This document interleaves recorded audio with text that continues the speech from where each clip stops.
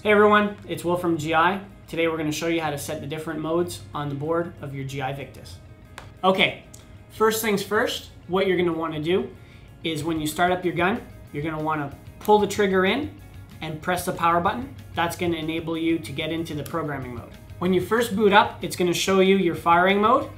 Then you have your rate of fire cap, your game timer, debounce setting, mechanical debounce setting, trigger filter, dwell, and a special little secret of caliber. Just so you know, there's a 50 and 68 caliber configuration on the GI Victus. You also have the bolt delay, and you can select how you want the text to show up, either left-handed or right-handed. Some other modes are the factory reset, ball in place delay, and now we're back to the original mode of fire.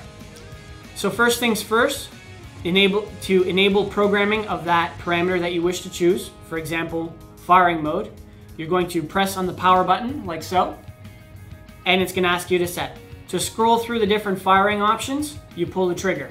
So we have semi-auto uncapped, semi-auto capped, three-shot uncapped, three-shot capped, full auto uncapped, full auto capped, PSP three-shot capped, PSP ramp capped, Millennium ramp capped, and we're back to the original semi-auto uncapped. So when you find your setting that you wish to choose, for example, full auto uncapped, once you find it, you press the power button and voila, now your gun is set. To ensure that everything is saved, you press your power button and hold it down. You'll see the countdown button go and the gun will turn off. And now your settings are saved. As soon as you power back on, Without holding the trigger, the gun will boot up with the settings that you have chosen. So let's go back and let's modify the rate of fire. Very, very simple. This board has a very simple programming tree.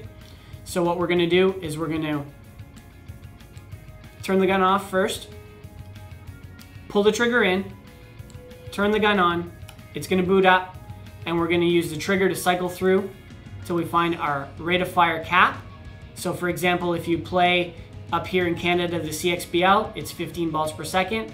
If you play in PSP, it's 12.5. Your local events may differ. So let's say we wanted to change that. All we do, click on the power button to set it and scroll through the trigger until we find our desired setting.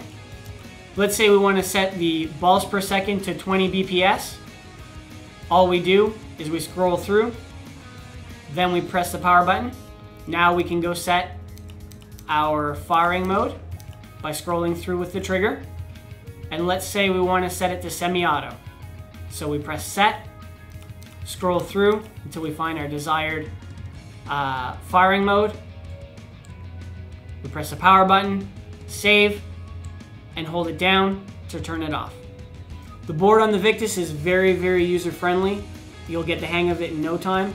If you have any questions, be sure to contact tech at gisportz.com. This is Will signing off from GI Sportz. Thanks.